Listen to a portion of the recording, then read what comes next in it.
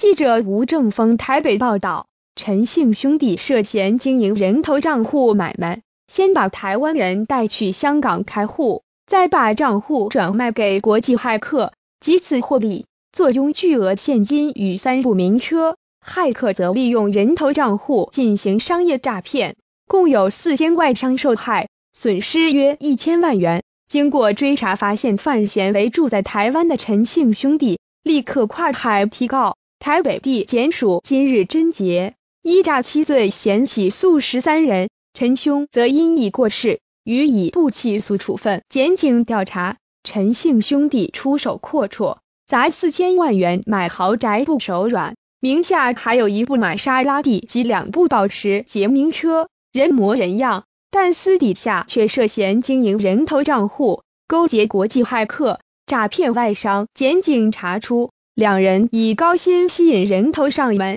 且负担他们的机票与食宿，抵港后再带他们去银行开户及设立空头公司，人头以为旅游又可当大老板，一举两得，实际上却沦为诈骗集团帮凶。取得账户与公司名称后。陈姓兄弟随即把账户卖给绰号“周”的骇客，周利用空投公司名义与其他公司往来，伺机骇入对方系统取得电子邮件通讯录，假冒名义发信给通讯录上的公司，要求他们把货款汇到人头账户内。四间公司因此受害，损失千万元。外商察觉遭诈，立刻报警，巡线追查均指向陈姓兄弟。随即跨海提告，检警经过长时间布线调查，查出除了陈姓兄弟涉案外，还揪出台北大学法律系毕业的原姓车手吉日吉牵线人。至于九名人头虽否认知情，